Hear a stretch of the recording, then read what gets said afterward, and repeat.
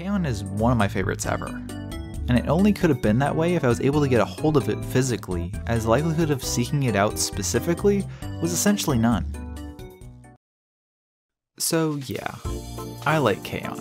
as previously stated, but I want to talk a little bit more about why that is. My original plan for the last video was to do a bunch of topics I like talking about and get a read on what people found interest in, for the most part. It was a lot of really supportive and nice people talking about how that video helped them branch out and make some changes for themselves, and I'm super grateful to be a positive influence on people. However, if I can sway people into watching or enjoying things I like, that may be interesting too. So let's talk K-On! as I really had a lot more specific things to mention about the show. So buckle up, buckaroos, and let's get to it.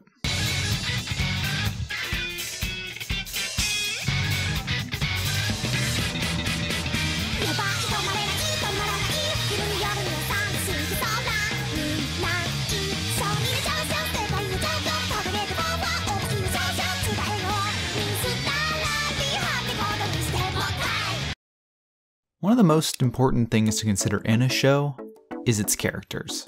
I really like the main characters in the show. They each offer something unique. Each of the main characters also have some sort of counter character, you know, someone who balances the other out. There's this nice mix of balancing between the main cast. You've got hotheads, klutzes, shy slash nervous wrecks, responsible ones, and more that are always in motion. This is one of those shows that really lets the characters drive the story along, and not the other way around.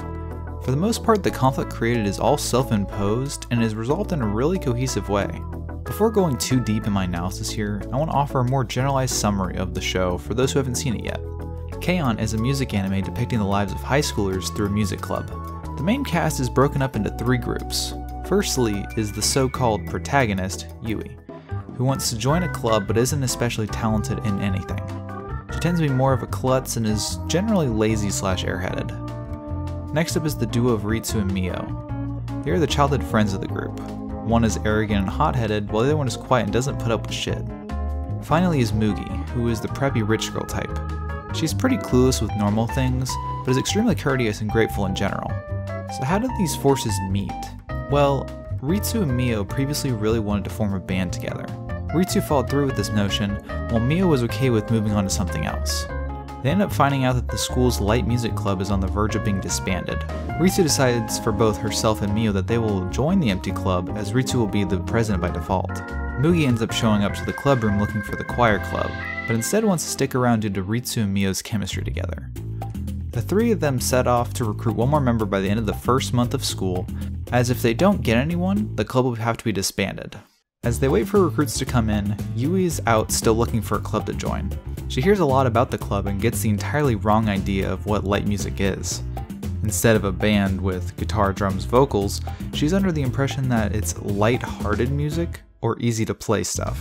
She joins before understanding that it's not easy and makes a point to quit right away. It doesn't quite work out as they wine and dine her with some tea and cake, but she eventually spits it out that she can't play anything. Due to the problem of band members, the three of them brush past that point as they just need anybody to serve as a file member. They continue to bribe her with more tea and cake to start. we can't let this Mark leave this room no matter what! To keep the club from being disbanded, we have to keep her here somehow. So good! I'm sorry, I didn't mean to come here and gorge myself. Hey, don't sweat it. I think we should start eating snacks like this every day from now on. Aren't we drifting off topic here? In a last ditch effort, they play something for Yui, and it hits just the right chord. Get it? I don't know what to say. It's really hard to put into words. Mm-hmm. You guys aren't very good, are you? Talk about blunt. But it seemed like it would be a whole lot of fun to do. I've decided that I'm going to join this club.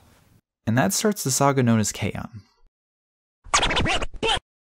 So after the first episode or so, we have our main group established. So what next? Well, without spoiling everything, the rest of the show follows along with Yui learning and becoming a guitar expert. There are plenty of concerts and songs that are played, lots of slice of life tropes here and there. Some of those being school, beach trips, sick days, school trips, etc. This is one of those shows that doesn't have any major stakes or conflicts, which isn't necessarily for everyone. I, however, love a feel good chill out show. Within K-On!, there's plenty of bits that run throughout the show, like how their teacher is two to three faced. She starts off being super sweet and polite, but eventually is gung ho about outfits, cat ears, and screamo music.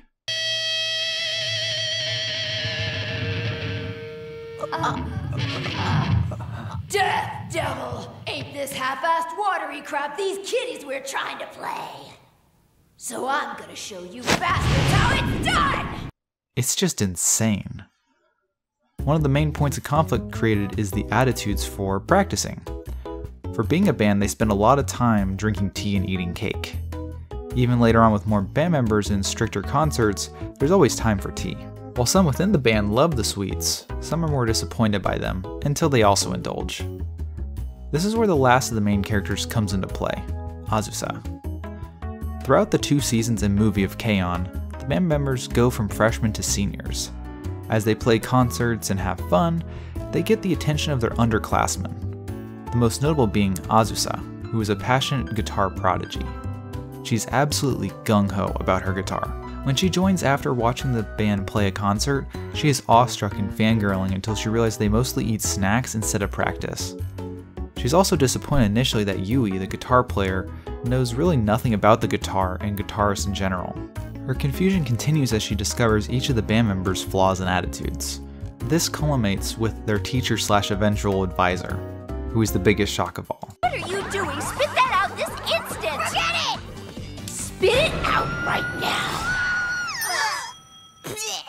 So yeah, out of the main cast, Azusa has the most dramatic change. She goes from this intense, strict, and sometimes bossy player to the eventual slightly more mellowed out, more rounded character by the end, which leads to graduation at the end of the series. In terms of the main cast, I will have to say that Mugi is my favorite character. She's just so sweet and nice. She is the sunshine character for the most part. Without her, there are many things that wouldn't be possible. The band forming with tea and cake at the ready, multiple vacation homes that are being borrowed, the influence on the music store's pricing. But my favorite aspect of her character is the curious side. She wants to learn new things and experience new stuff. Literally, in the first episode, she mentions how she's dreamed of being asked if she wants fries at the McDonald's they meet at. She's lured into the band since Mio and Ritsu are so close. She wants that kind of relationship. I mean, there's an entire episode where she is purposely trying to be a klutz, so one of the band members will whack her on the head. That may be some sort of ulterior motive, wink wink. And those traits carry on to the college set manga too, which that set of stories are pretty good. Anyways, last main thing show-wise I want to mention is the moe aspect. Moe is cute, essentially. The show is one of the driving forces for the cute girls doing cute things trope, which can be found pretty often in this show. From the big eyes and rounded faces, the ample fan servicey type of activities and costumes, those being swimsuits, maid outfits, etc. So, if that's something you like, then K-On! is a great thing to check out. If not, there's still good elements to the show here. You've got a great soundtrack, funny characters and situations, some gorgeous animation at times, a nice soul overall. It's essentially the whole slice of life element zoomed out. Instead of a bunch of scenes from a year in school, there's the whole high school experience from afar. You have some school clubs, talent shows, festivals, holidays, the whole package. But there's more to the show than just the anime. I want to put you all on the part of K-On! I enjoy the absolute most. That is the music.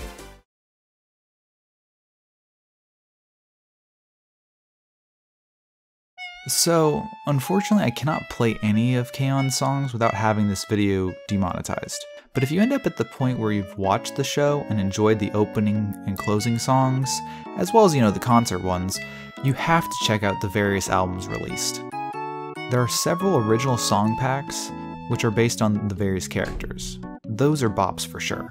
There's also the individual singles for the extended opening, closing, and other songs within the anime, my favorite of all of them is the two disc slash cassette mega album.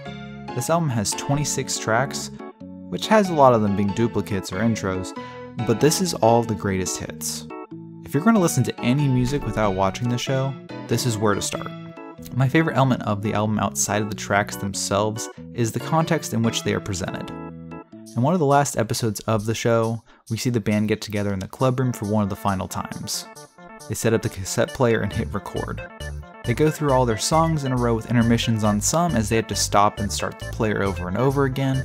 It really is a charming way to present these songs in that context. I personally own this CD, but not the cassette version, which would probably add to the aesthetic. But speaking of CDs, many of the tracks or openings, etc., are available on CD. When I was going through my phase of K-On music, I ended up buying a ton of CDs. Like, I have a big stack of them. I feel like owning some sort of merch from a property you like almost enhances the value of that show. It's the whole eye of the beholder mentality, and I am no exception. After importing all the CDs from Japan, I wanted more. I even found a few sellers for figures too and bought more than I should have. I'm not going to include them all here as they're in storage for the most part, but here's a couple good ones. Also, there's a set of car models for the show too. I'm not much of a car guy, so I can't really be invested in that sort of thing, but it is pretty funny seeing weird collaborations such as that. Also, my last video about physical media, some people mentioned that they don't really have access or room to a lot of physical media. So the good news is about the music of K-On! is a lot of it is available via Spotify under the Ho Kago Tea Time title. I think it's how you pronounce it. I'll, I'll leave that up on screen. I believe you can also find this on other services too, which means you won't have to be locked out of having all the discs to enjoy it, which is a big plus to me. My final note here is in regards on how to watch the show ideally. I was lucky enough to get this within an anime collection purchase, so I have it on DVD. And when I originally watched it, it was also available on Hulu. As of now, it's not available on Hulu or on like the main hub for anime being Crunchyroll but it is on a competitor service, HIDIVE, which is a cheaper per month than Crunchyroll. The only issue that remains for those who use streaming primarily is it might not be there forever. If you happen to either see this video in the distant future or forget about K-On until later, it could be off their service entirely and possibly unwatchable legally. I'm also talking about just within the United States. It could be completely different if you live in another country with different corporate licenses, which leads me back to the physical media debate. I would urge you, if you want a copy of K-On, to try to seek it out. There are DVD and Blu-ray versions available, but they do cost a bit more than a monthly subscription. You could get the series for about $50 it seems right now, which could also change in the future too. But I would personally say it's worth the money for the sake of not having to find it or being at the mercy of your internet provider. Because what's worse than not being able to watch something is being stuck waiting for your video to buffer endlessly, or your ad blocker making it next to impossible for the player to continue every 5 minutes. But hey, that's just me. Thank you all for watching. If you watched my previous video, thank you for checking this one out too. Hopefully you enjoyed it like the other one. I'm thinking of either doing some more anime related content going forward, or maybe going back to some video game stuff. If y'all have any strong feelings one way or another, let me know down below. Anyways, see ya.